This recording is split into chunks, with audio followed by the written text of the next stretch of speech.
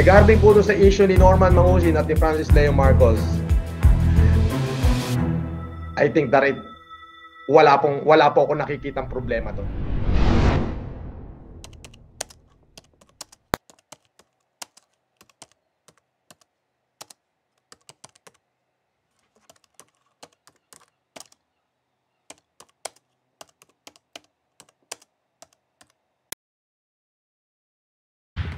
Sa bisa ng isang warrant dinala sa NBI Cybercrime Division ang negosyanteng si Francis Leo Marcos.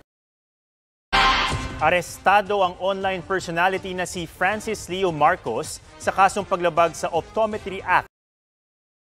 of the National Bureau of Investigation, Director Eric Isor, wishes to announce the uh, and confirm the uh, arrest of uh, Francis Leo Marcos.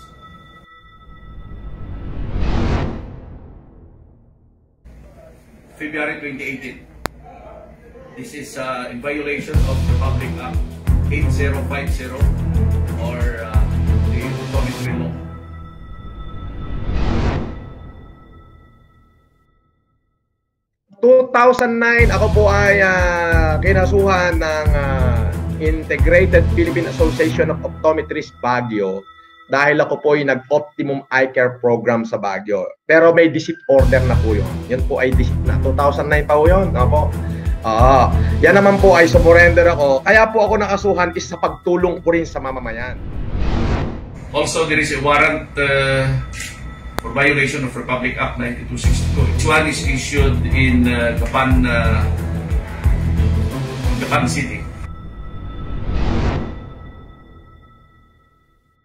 First and for all, wala po akong uh, kilalang taga-Gapan na Baysira at hindi pa ako napupunta ng Gapan.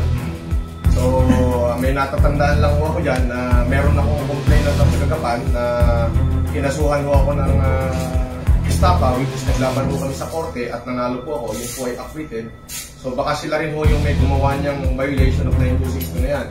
Yan po ay hindi po talaga ako taga-Gapan, hindi po kilala kung sino yung nag nagsampa niya. So, we are in the process of verifying the true identity because uh, we have been receiving reports that he had been using a uh, name before, uh, Norman Gakusig.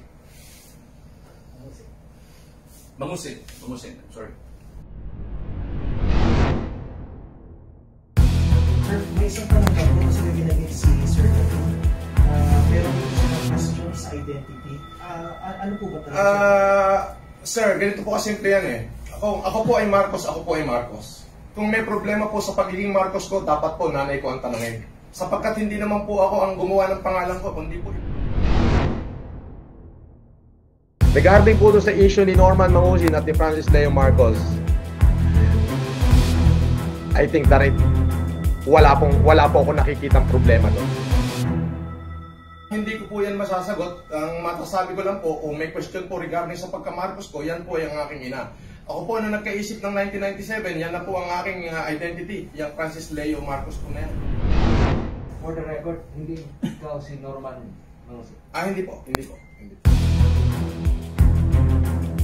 Eh, nagtanong ako sa abogado ko, eh, I am Norman Mangusin and Francis Marcos is the same person, may problema ba?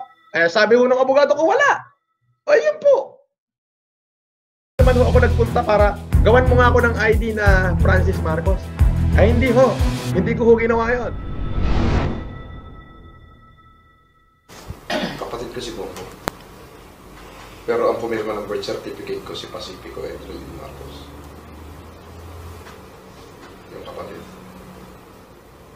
Si Bomo, kapatid mo, Anak ako ni Sena, anak ako ni Ferdinand Marcos senior. Senior.